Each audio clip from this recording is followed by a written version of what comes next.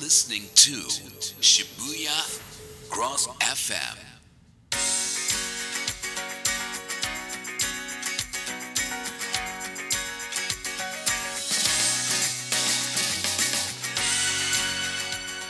皆様こんばんは毎週水曜日夜10時から鳥羽明美のミラクルくるくるがスタートいたしましたえー、寒いですねえー、多分日本海側あの福井なんかは豪雪でとても寒いということなんですけれどもあのはい、えー、豪雪地帯といえども福岡も雪が降っていたということで、えー本当に今はね、えー寒いだなと思うんですが東京はちょっと緩やかな、えお天気で今日は暖かでしたよ、え皆さん豆まきをされましたでしょうか、えー私恵方巻きも食べてみましてそして豆まきなんぞもいたしまして、えー新しいねあの、まあ、旧暦ということで迎えたわけなんですけれども何かまた新しいこと始めましたか？えー私はですね新しいこと、えー始めようと思っておりまして、えーワクワクしておりますけれども、えー実はあのあれです。中国の台湾のお友達、えー地震もありましたね、えー地震多分台湾台北は大丈夫なんですけれども、えーその子にですね私2月4日の日に新年おめでとうみたいに送ったらなんと、えー今年の旧暦、えー2月の16日が、えー大晦日あごめんなさい。大晦日が15日。で2月16日が新年を迎えるということでまだ先でした、えーやはりですねこの私たちの、えー新年まあ新年というか暦がね旧暦と新暦では違うんだなということがよくよく分かりまして、えーまた新たなえー年を迎えるにあたっては16日も新たなスタートにできるかなと思っております、えー今日のゲストは英会話スクールを経営されている方なんですけれども、えー皆さんもきっと英会話習いたいなと思っている方も多いと思います多分、えーこの間2月4日から始められなかった人は2月16日からスタートするのも一つかと思いますのでぜひ、えーそんな心持ちで今日も聞いていただけると、えー英会話やってみようなんて思うんじゃないかと思います。えーキバックスインターナショナルの代表取締役木場真一さんなんですけれども、えー私たちはキバックスキバックスと呼んでおります。えー面白いんですよ、えー英会話半分。そして、えーあと半分は何かなというところなんですけれどもそのあたりを今日は皆様方にお届けしたいと思いますのでどうぞお楽しみに。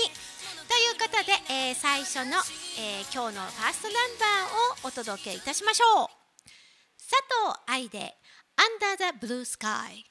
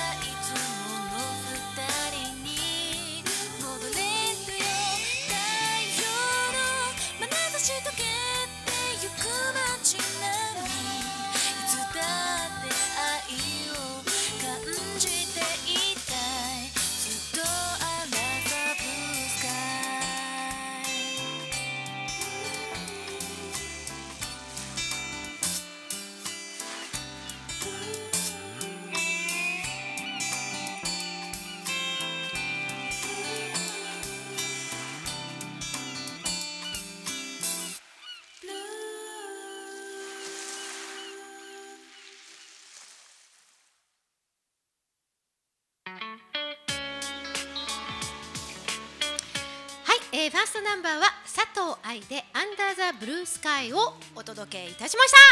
さて、えー、今宵のゲスト、えー目の前においでいただきましたけれども、えーご紹介をさせていただきます。株式会社キバックスインターナショナル代表取締役の木場真一さんです。こんばんは。こんばんは、よろしくお願いします。お願いいたします。ようこそおいでくださいました。あのね、あのキバックスキバックスって呼んでるんですけど、はい。あのキバックスという、えーこれは会社名ですね。そうですね、はい。うん。あのーなんでキバックス？牙だから。そのままみたいな。そうそう、あのーそういうことなんですよ。はいあの木場さんの木場はあのーえーっと何？えーっと木に場所の場。そうですね。ねはい。はい、木材の木に、まあ、で私たち東京の関東の人は、えー何？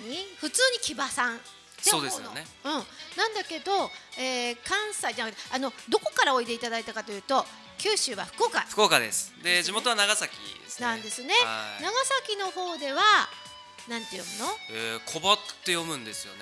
ねはい。小え葉っていうそういう高速のあのもある？ーあれもあったりするんですよ。あそう。はい。なので小葉さん小葉さん呼ばれて、うん。はで子供の時は嫌だったんでしょ？い。嫌でしたね。あはそう。俺の名前間違えちゃねえぞって思ったい。の？いや本当思いました。だから東京来て、うん。電車で新木場とかあ見るとそうそうそう。そう新しい牙だみたいな。一番テンション上がるってやつです。あそうですか、はあのキバックスインターナショナルさんはどんはいな会社ですか、キバックスインターナショナルは、えー英会話とうん。レジリエンスという教育をやってる、そうなの。みんな知ってる？レジリアンス。ちょっと間違えちゃいそうだけど。はい。大体噛んじゃうんですけどね。ねえ。はい、それを合体させたスクールなんだよね。そうですね。あのキッズの子供たちの教室と、ん。あとは、まあ、大人のパーソナルトレーニング、うん。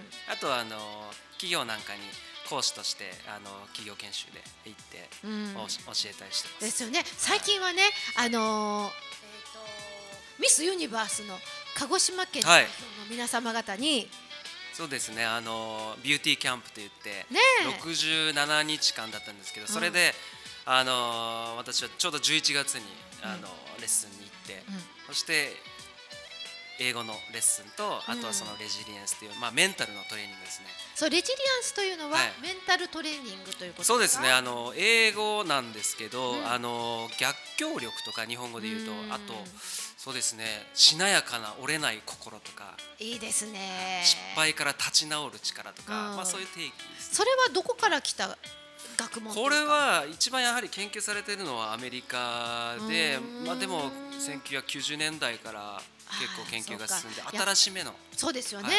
だってあんまり聞いたことがないと思うんですよ聞かないですねまだまだ。ねだから最新のことをしているということですよね。いそうですね。はい。ねえ。でまああのキバックさんのはい。生い立ちもはい。ちょっとこう面白いかなと思ってちょっと聞きたいなと思うんだけど。はい。お願いします。東京で話しちゃうんですね。話しちゃう。だって 渋谷で。そうだよ。テニス小僧だったんでしょ？そうですね。知ってるよ僕が生まれたのは長崎のはい。西海市っていうところなんですね。うーん。昔オランダ村って知らないあ知ってる知ってる知ってる。もうあの近くです。あーはいあの近くです、今ハウステンボスとかなっちゃいまそうしたけどそうそうそうそうはい。あの僕が生まれた時信号がうん。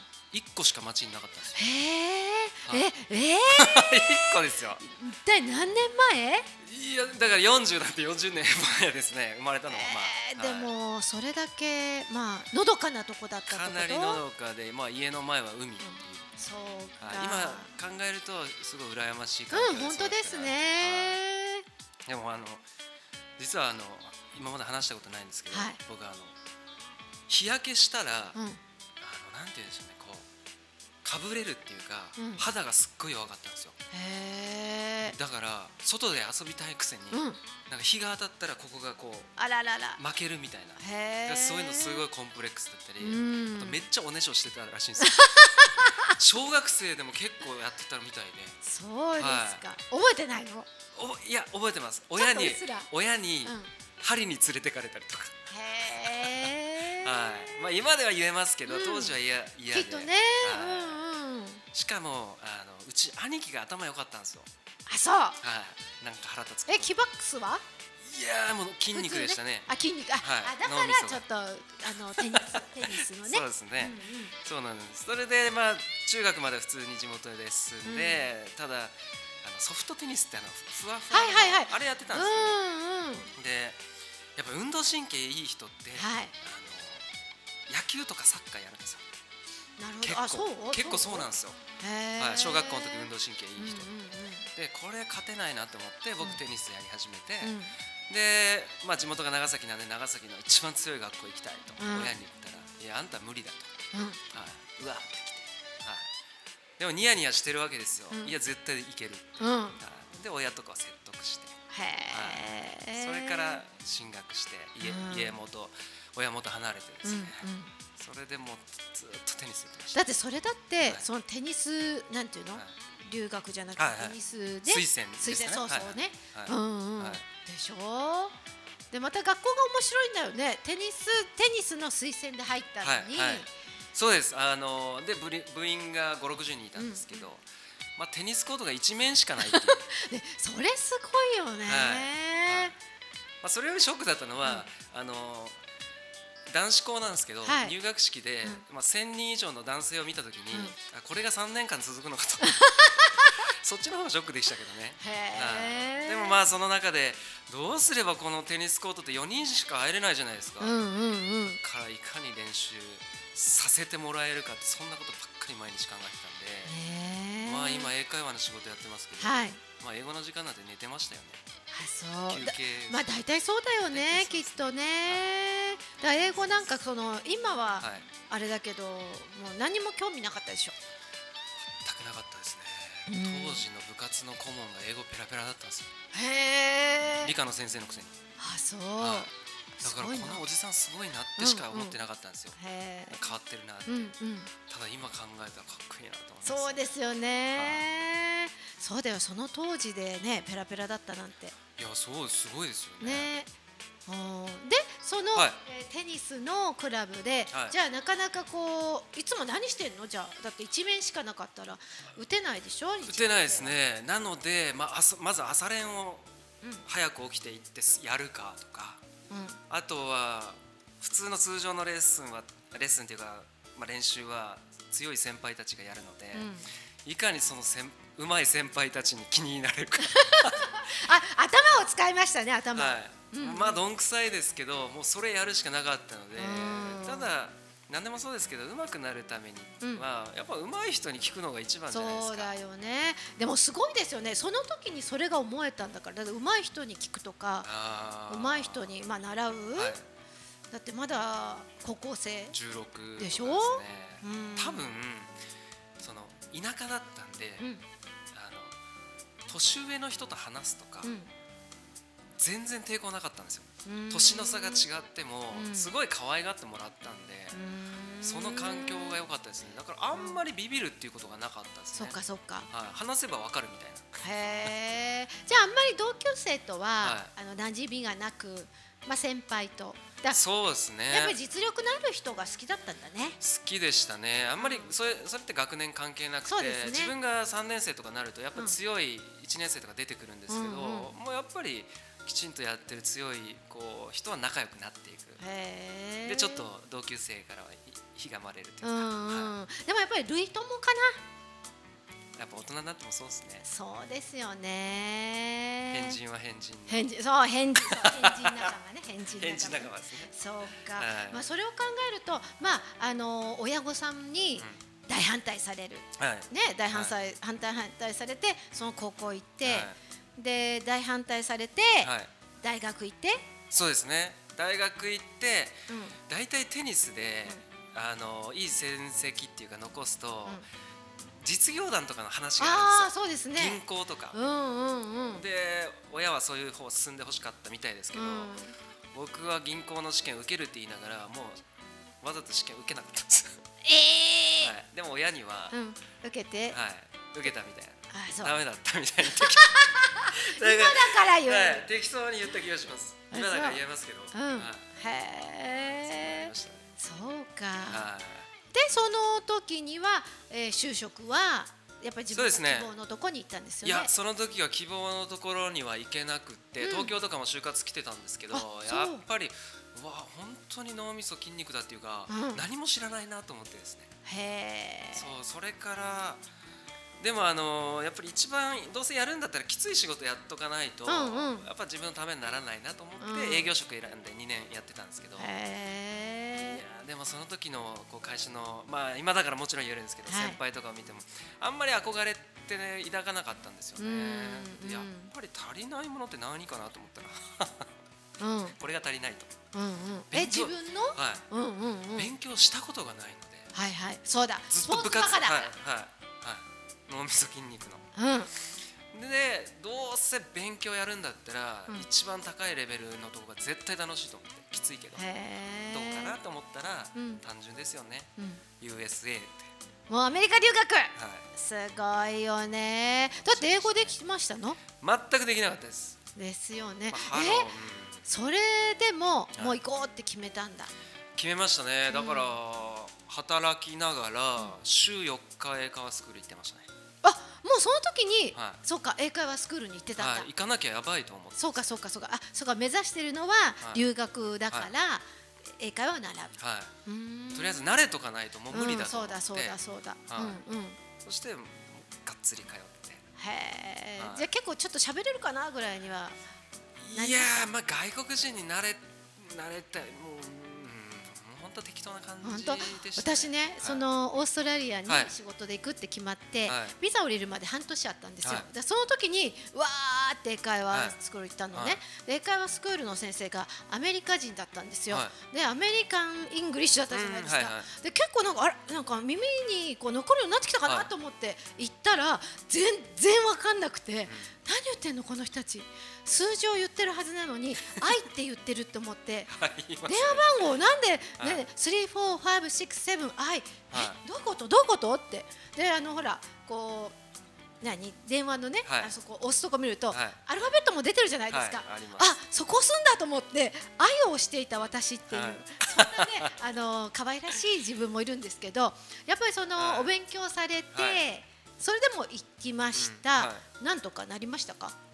いやーあのー最初はやっぱりその英会話の先生ってやっぱり簡単な英語すっごい話してくれるんだなってうんうん。思いましたし、あと生活に慣れるにもやっぱりもそうなんだよね。うな全てが違うじゃないですか、うんうん食べ物もそうだし、うんうん文化も違うしあとまあ勉強が大変で、うん。よく海外の勉強大変って言うじゃないですか、しかもしてない人が行く勉強ね、うん。すごい大変。大変ですよね。でも本当大変と思う。もう最初苦労しましたけど。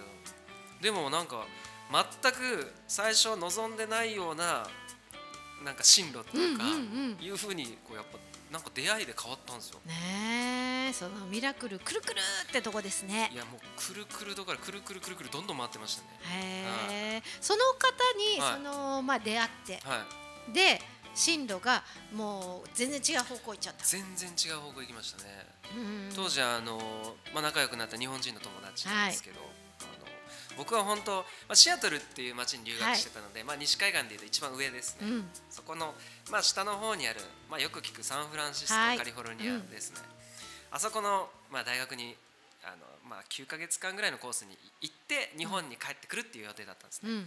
ただその出会った日本人が、いやそこの学校行って大し大して大した日本人はいないみたいな。うんうんうん。でいやいや大した風になりたいとはいはい。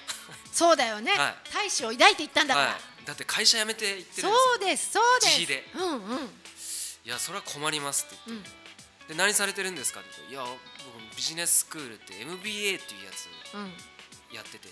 MBA ってなんか聞いたことある？あの難しいやつでしょ。っつって、うん。あそうそうそうそうそれなんかいや僕はつって。いや大丈夫楽勝って言うんですよ、うん。今でも覚えてます。楽勝って言うんですよ、うん。でもう性格がいいので、うん。自分にもできるんじゃないかうん。それ素直でいいな。といやーいい感じで騙されようと思って、うんうん。そして勉強始めたんですよ、また。へえいやー騙されたと思って、うん。めちゃくちゃ難しいんですよやっぱり、と思いますよ。はい。失敗したなと思ったんですけど、うんただもうやるしかない、もう逃げれないんで、ね。でもやり遂げちゃったんですよね。なんか本当いろんな人に助けられて。先生たちもよくて、うん。はい。もうなんか2年間大学院って2年間じゃないですか普通、はい。それをそもうお金がないですうんうんうん。そんな2年もこれ以上入れないとかうん。もう1年半でこう授業を入れていってすごい。1年半ぐらいでやりました。いやそれすごい根性ですよね。はい。まあもう一生やりたくないですねうん、そうですね、はい。でもその2年のものを1年半でやり遂げたという、そこはなんか大きな自信になってるんじゃないですかね。そうですね。通常ね。人がやらないことをなんうん。かこうやり遂げるってなんそれかっこいいなんかって思ったでしょ気持ちいいですよね。ねえかはいっこいいかっこいい。私もキーワードかっこいいなんで、はい。なんかわかる気がします？です。ねえ。OK です、はい。じゃあそのかっこいい子終わって、はい。えー次ちょっと一曲入れさせていただいて、はい。そのかっこいいから次は英会話、えースクールを、はい。ねえー運営するまでのお話を聞きたいと思います、はい。えー皆さんぜひあのーキバックスさんにえー応援メッセージまたは質問などございましたら、えー、info アットマーク渋谷クロス FM.jp、えーメールを送っていただきますと、えーこの時間中であればお読みさせていただきますのでぜひお願いいたします。はい、えーもう一度言います。info アットマーク渋谷クロス FM.jp こちらにメールをお願いいたします。ということで、えーセカンドナンバー参ります。久光力で君みあ君のままの君でいて。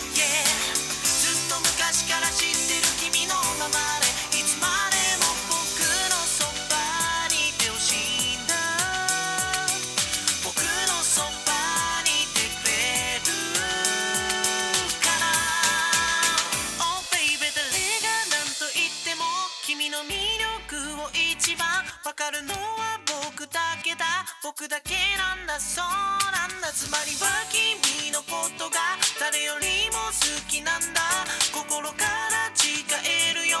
変わらぬその愛を。誰が何と言っても君の魅力を一番。わかるのは僕だけだ。僕だけなんだ。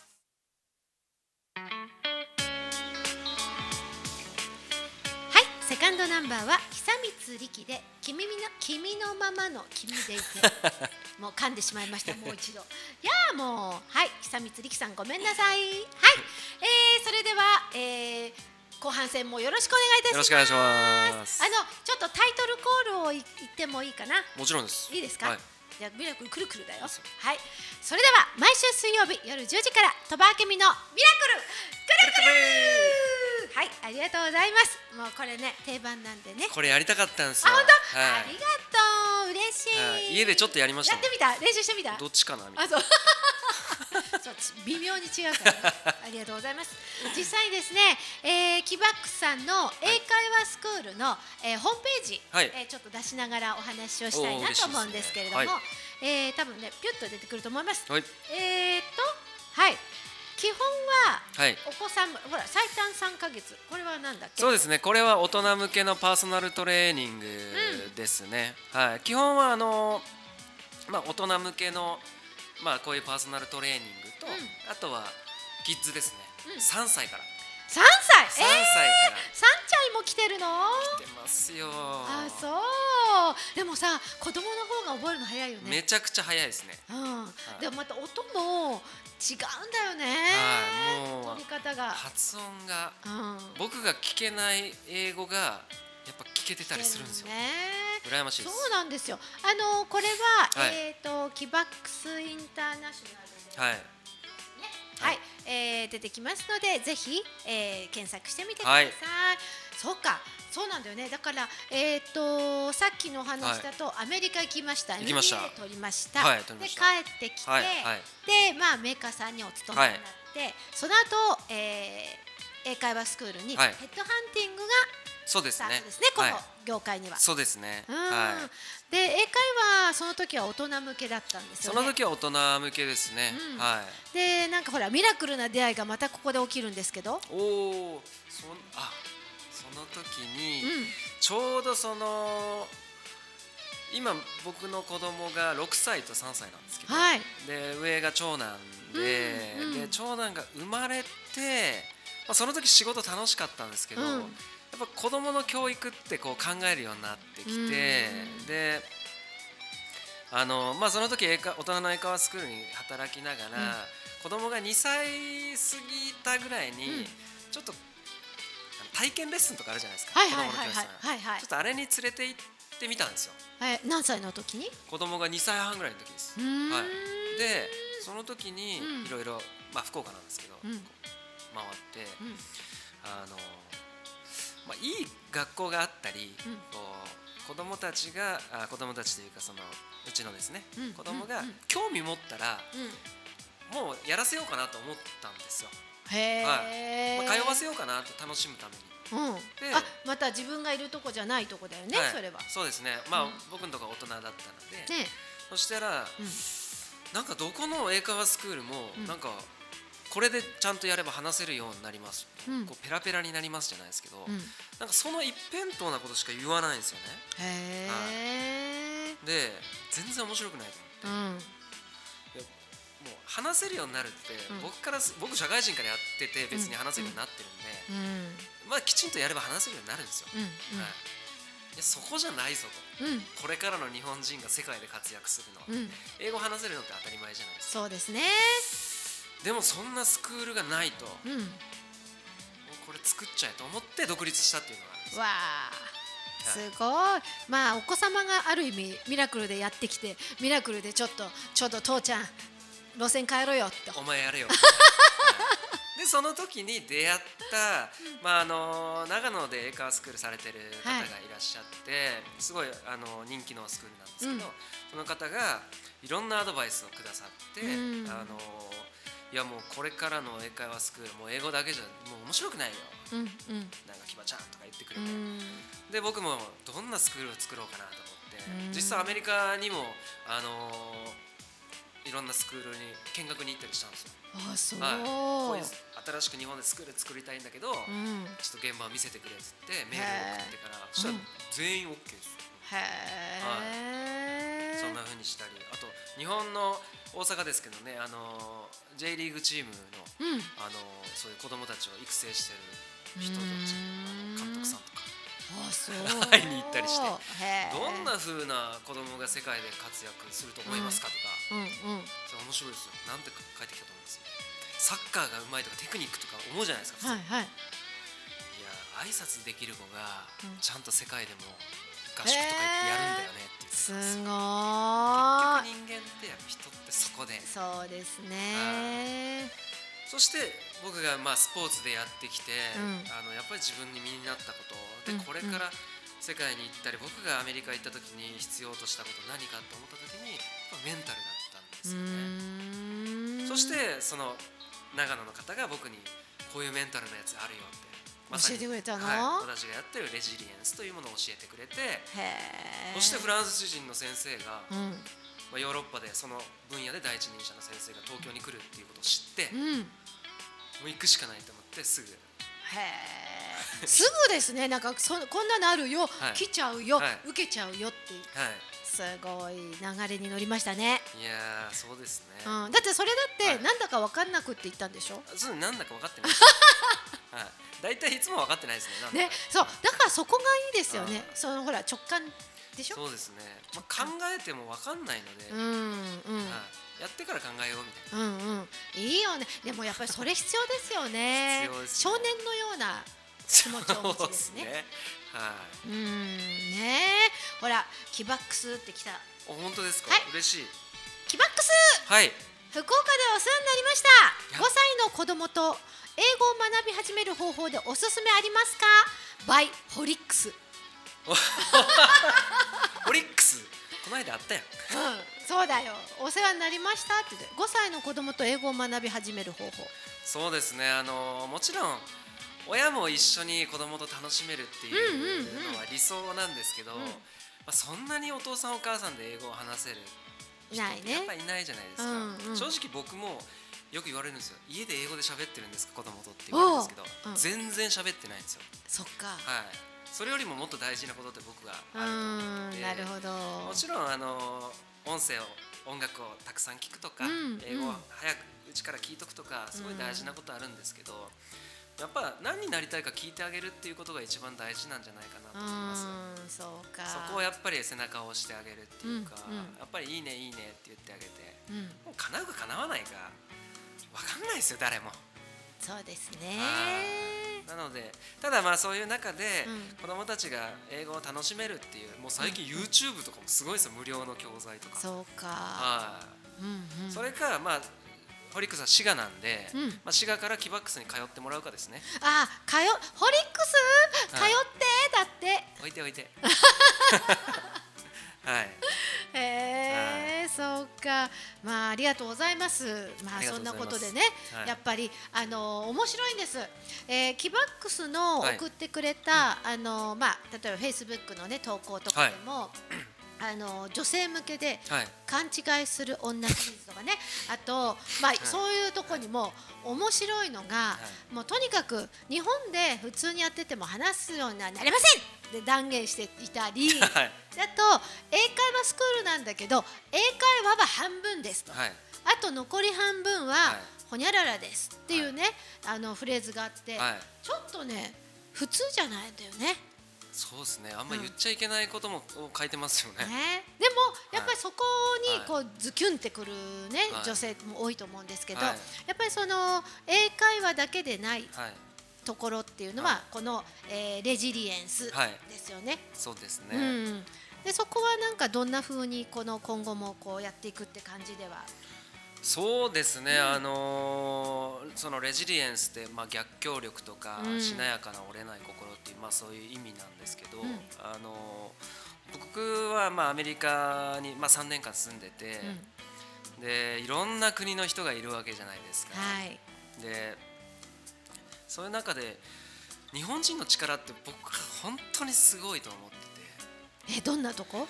なんでしょうその、まあ、まあ過去の話になりますけどこう震災があったりとかうん何かがあった時にみんなでそのうん。力を合わせたり絆っていう言葉がまたこうクローズアップされるようになったり本当のこのメンタル力っていうか耐える力とかうん。その根本にあるもの土台ってすごいいいもの持ってると思うんですよ。ただなんか外国人が目の前から来たら、ちっちゃくなっちゃうとか、はい。なんかコンプレックスあるよね。なんかはい、うん。でもなんかこう欧米人見たらかっこいいとかあるわけじゃないですか、でもあの日本ってこうやっぱ車とかなんでもものづくりでバーッと成長してきた国なのに、うん。なんかそんな力持ってるのにちょっと英語ができないぐらいで、うん。こうメンタルのそのマインドっていうか、うん。弱さで世界で戦える人が僕は少ないうん。と思ってるんですよね、うんうん。だからそういう中でもう和製レジリエンスっていうか、うん。もうジャパニーズレジリエンスをうん。世界に広めたいっていうのが僕の一番の強い思いなんですね。えー、それはまたちょっと面白いですね。はい、うん。だから、まあ、僕が40ですけど、ん。多分150歳ぐらいまで生きとかないとうん世界に行き渡らない気がします。そうですね。はい本当ですね。はうん、やっぱりそういった意味ではその英会話を教えるだけではなくて、そのレジリエンスでのあのーまあ教え子を増やすというか、そうですねいうのも考えてるんではいすか。、あの特にあのキッズの教室に関しては、うん。まあ大人もそうですけどあのやっぱり世界で通用する日本人をそう育てる、だね。うん、本当本当はいそう思う、そう思う。なのであの福岡来ていただくと分かるんですけど、うん。僕の教室に大きな看板がついてるんですよ、へえ、はい。看板？看板があるんですよ、うん。学校の、うん。そこなんて書いてるかというと、うん。英語バカを作らない世界基準の英語教室って書いてるんですよ。へえ。そこ通る小学生たちが、うん英語バカって何？って言ってるんです。お母さんたちには怒られそうなんですけど。はい、それぐらいまあ英語というよりもやっぱり世界で活躍するためにはいろんな自分のその夢であってやっぱ強みを生かしてうんうんうん。やっていく、そして今の卒業する子たちがちょうど小学6年生実はいの教室なんで、うんまあ10年後十数年後がうん。ちょうど楽しみです出ね。る時なので、まあ、その時がようやく一つのこう世界に出てる時がようやく一つの仕事がまず。見えたなっていう感じになるかなと思います。はいうん。だからやっぱりその英会話だけではないから、やっぱりその企業様から、はいあのぜひうちでもやってくださいっていうオファーがある。そうですね。ですよねはい、あの例えば企業研修なんかでは、うん例えば銀行とかですね、うん。はい、侵入行為とか、へー結構厳しいんですよまあ。入らなかった銀行ね。まさか自分が講師としていくとねはわえ。からないです。わからないですね。やっぱりそれはまあ英会話もあるでしょうけど、はいレジリエンスの部分でまあお声掛けいただくのはやっぱり大きいでしょうね。めちゃくちゃ大きいですうんね。あとはそこにこう恩返ししたいっていう気持ちもうんうん。ありますしね。なるほどですね。うーんそうか、はいあとまあ実際に先ほど申し上げたミスはいユニバースにしても、英語とレジリエンスっていうところではどんな結びつきであれでしょうか？そうですね。あのーまあ基本的にミスユニバースってこう、うん日本都道府県全部ですね、うんあのそれぞれ地区大会っていうのがあって、うん。そして日本のチャンピオンを選んで、うん。そして世界大会っていう流れなんですよね。そういう中であのまあ、私が担担当というか講師をした鹿児島って67日間のビューティーキャンプなので、うん。その中で正直英語も必要なんですけど、うん。結局ここなんですよね。そうですね。はい。英語ができたからって、うんじゃあ、うんグランプリになれるわけではないのうんで、いかにそのできるようになった英語をうん人前で発揮できるかとか、うん知ってました？英語発音上手な人って姿勢がいいってあ嘘知らない知らない。あのえー、何それ何それ？猫背の人が英語しゃべかっこよく喋ってるイメージないでしょ？へえ。うんないなないなないねないね。英語って腹式呼吸なのでうん。カラオケと一緒ですよ大大きな声出す時はいはい。高音とか出す時って、うん。立って歌った方がいいじゃないですか、うん。あれここ伸びるからです。あ座ってきついでしょ。うんうん歌そうそうそうそう。はいまさにそれと一緒です。へお腹から声出さないとうん。いい発音がやっぱ出ないんですよ、えなのでうん。僕は大人の生徒さんたちには、うん。もうあの必ず1日1回英語ができる自分でスイッチを入れて生活してくださいあそう。だから姿勢はい。口癖とうんかですね、意識あーして口癖も大事ですよね。すごい大事です。うんはい。だからネガティブなことうんをいつも言ってる人はネガティブな単語を覚えるんですよ。それはそうですよね。はい、 Thank youってありがとうっていつも言ってる人は、うん。どんな時でも Thank youって言うわけですよ、うん。はい。そうか、はい、だからすいませんすいませんって言ってる人はいつもソーリーソーリーって外国人に言ってしまうから、うん。お互いなんか心を開けない。から仲良くなれないんですよ。だから結局ここなんですよそうか、はすごいよつながっね。つながりますね、はい。やっぱりそれがあの実際にねミスユニバースの人たちもじゃあ大舞台ではい。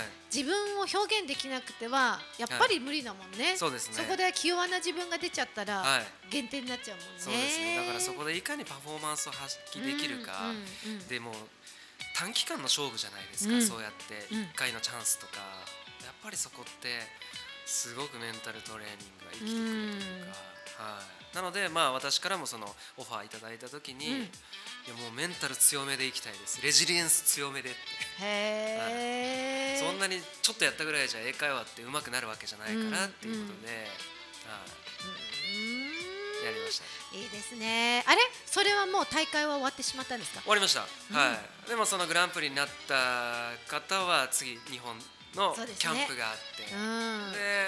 やっぱり彼女も日本でチャンピオンになって世界大会行くっていう、うん。もう行くっていう言ってました。素晴らしい。はい応援していきたいですそうですね。やっぱりそういったまあ大人もそういった段階を踏んでますけど、はい。まあお子さんがねそうやってこう育っていく。あれ？ってことはさ、はい。キバックスのお子さんたちもはい。英会話習いに来てんの、それ聞いちゃいます？あ聞いちゃった。あら。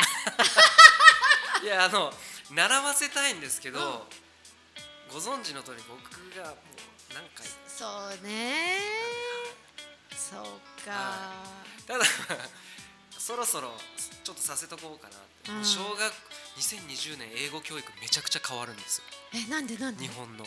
あそうなの？オリンピックの次に、あのセンター試験がなくなるとかであすね。そうかそうかそうか、うんうんうん。へで英語教育が一番変わります教科で。え、なので、まあ、早めの準備っていうのは、うん。あのまあ、嫌ない嫌いにならないためにも。うんうん、早めの準備は何をしたらいいの？このこの今聞いている親御さんたちにも。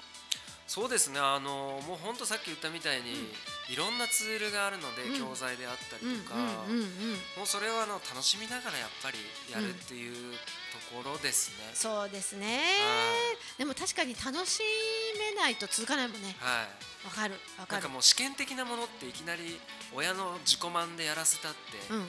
ダメだよい。絶対ダメだよ、はい。楽しくないですうよ、んうんそっか。えー、なるほどね。やっぱり皆さんも、えー楽しみながらちょっと耳に入れるとかね、うん。流しておくとか。そうですね。よくディズニーのやつをずっと流ありますよね。してるもんね。はい。うんうんうん。ありますよね。ねえなんかやっぱりずっとそうだよねあの大人になってもそうじゃないですか、うん。あのとにかく耳に入れる。私はオーストラリアに行って、はい。耳を鳴らそうと思った時に、、はい。つも天気予報だけ見てた。だってニュースわかんないんだもん。わかんないですね。わかんないからいつもお天気予報、あ晴れ。はい。あとなんかあの太陽もついてきますしね。そうわかるでしょ、うん。であーなんか風がこんななんだなとか、はい。はいでそこから少しずつ耳が慣れてったかな、うん。みたいなね。なのであのまあスマートフォンなんかも、はい。あの英語に変えるといいですよね。英語表記。あそうですね、はい。そしたら雨とかもシャワーって書いてあったり、うんするんですよね。うんうんうんはい。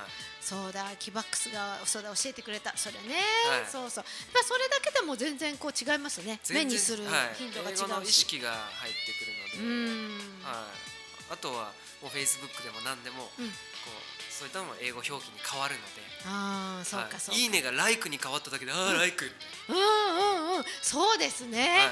そうだ。普通に思ってたけど、はい。そうだね。いいねじゃないね。なそうですね、うん。w i f i も僕たち英語でよもう認識してるじゃないですか、はい w i f i って、はいうんうん。カタカナで w i f i って書いたら変じゃないですか、はい、それぐらいやっぱり英語で入れると英語で普通に自然に入るんですうよね、んなるほどね。そっか、はまあ実際にはこれから和製レジリエンスとはいいうことで海外にどんどん出ていきたいと。はい。ねえそう今は福岡と東京を行ったり来たりされてるんそうですね、まあ、毎月東京には来させていただいて、ねえ、はい。だからまあまた全国各地ね、はい。まあそ増えたら増えたで今度日数とかいうか時間が足りなくなっちゃうね。そうですね、うん。はい。あの福岡でもあのまだどここでどこにも言ってないんですけど、うん。新しい教室の形態でこうプロデュースのお話とかもああそうなんですか。へえ、そしたらもっと忙しくなってあれスカイプなんとかおちょっと見たけど？ああのー大人のパーソナルトレーニングはオンラインでもできます、うん。なので東京の生徒さんもいらっしゃいますし関西もいらっしゃいますし、うんね、はい。だからやっぱりお忙しい方々ははい。最近はね、だってその方々だって出張行ったりしちゃったらね受けれないもんね。は。うんなので結構30代40代うんの方はすごく多いです、うんみんなね世界目指してますそうですね。やっぱりあれですね。あのー社長さんがそういうふうにし世界を目指すと、い。やっぱり類友で、はい。さっきの話じゃないですけど、はい。世界を目指す生徒さんたちが寄ってくるということですかね。僕が負けたくないですからね。あそう。結構ね、あのーそう なのよ。そうなんやそう打ち合わせしててもね、はい。そういうこう端々に出てきて、もっともっと先を行くぞみたいな。はい、やっぱ自分が世界出ていかないと、うん。なんか「いってらっしゃい」ではこうかっこ悪いそうだよね。やっぱりそういった姿というかその姿勢がはい。キッズを育てる時にもきっと出てくるから、はい。きっと今そ、ね、キッズたちもはい。見てるところははい。なんかすごい上を見てるんじゃないのかな。嬉しいですね。だってねキバックスは、はい。えー、と子供の頃はい。近所のお兄ちゃんに僕が社長になるんだって言ってたんでしょ？なんか言ってたみたいですね。ねえ。記憶は全くないんですけど、うん。はい。ね、だからそれが今本当にね、えーちゃんと社長さんになりそしてきっと、えー今、えー通ってきているお子さんたちも、はい。そんなキバックス社長の姿を見て、僕も社長になるとかサッカー選手になるとか世界行くとか、はい。い、ろいろ言ってんだろうなってすごいなんか想像がつく。そうですね、うん。もうあのまあそういう夢を語る場所っていうところでもありたいですよね、うん。うんキバックスが。そうですね。あのそういうのってなんとなく日本ってちょっと恥ずかしいところがあるじゃない、はい。ね、じゃあやっぱりキバックス英会話スクールははい。夢を語る場所ということで、そうですね、うん。それであり続けたい。英語ばかりにならないはい、はい。絶対しないです、はい、ですね。はい、ということでですねあっという間に時間になってしまいまして。はい、早いえー早いでしょう。もうね、えー今夜のお客様は、株式会社キバックスインターナショナル代表取締役キバックスこと木場真一さんをお迎えいたしました。はい。またぜひいらしてください、はい、はい、また来ます、うん、ありがとうございました。また新しい材料を引っ提げてきていただければ。そうですね、うん、はい。楽しかったです。はい。ありがとうございました。ありがとうございました。はい。じゃあこっちにさようならです。じゃあね。バイバイ。また来週。